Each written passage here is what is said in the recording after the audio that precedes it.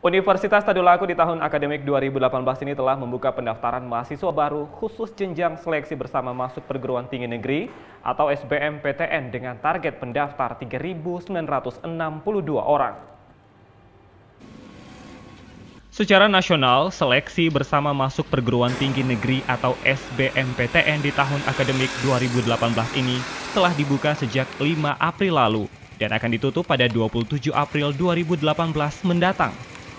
Di tahun ini, Universitas Tadulako menargetkan akan menerima sebanyak 3.962 pendaftar mahasiswa baru dari berbagai daerah di Sulteng.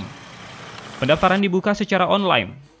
Para pendaftar SBMPTN ini nantinya dapat memilih seleksi di antaranya seleksi ujian tulis berbasis cetak atau UTBC dan ujian tulis berbasis komputer atau UTBK.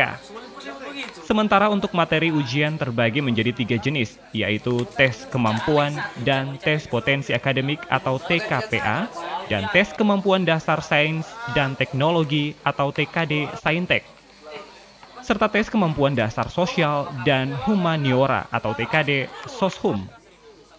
Menurut Wakil Rektor Bidang Akademik Universitas Tadulako, Sutarman Yodo, di tahun akademik 2018, dari seluruh jalur pendaftaran, Pihak Universitas Tadulako menargetkan sebanyak 9.935 orang pendaftar. Itu akan lebih banyak ya. dibanding dengan SN. Oh, ya. um, kalau SN itu 30 persen minimal. Tapi kalau SB itu kita pasang minimal 35 35 persen dari kota. Oh, iya. Sisanya nanti 30 persen Sebelumnya, Universitas Tadulako telah membuka pendaftaran pertama untuk jalur seleksi nasional masuk perguruan tinggi negeri atau SNPMTN yang dibuka sejak tanggal 21 Februari hingga 6 Maret 2018 kemarin. Dan rencananya hasil akan diumumkan secara resmi pada tanggal 17 April 2018 mendatang. Sementara khusus jalur ini ditargetkan sebanyak 2.993 orang pendaftar. Selain itu untuk pendaftaran gelombang 3, jalur seleksi mandiri masuk perguruan tinggi negeri atau SNMPTN baru akan dibuka pada bulan Mei 2018 mendatang.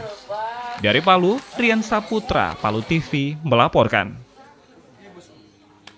Usai sudah kebersamaan kita pada sore hari ini atas nama kru yang bertugas saya Ling Talamoa pamit undur diri. Terima kasih atas kebersamaan Anda. Assalamualaikum warahmatullahi wabarakatuh. Selamat sore dan sampai jumpa.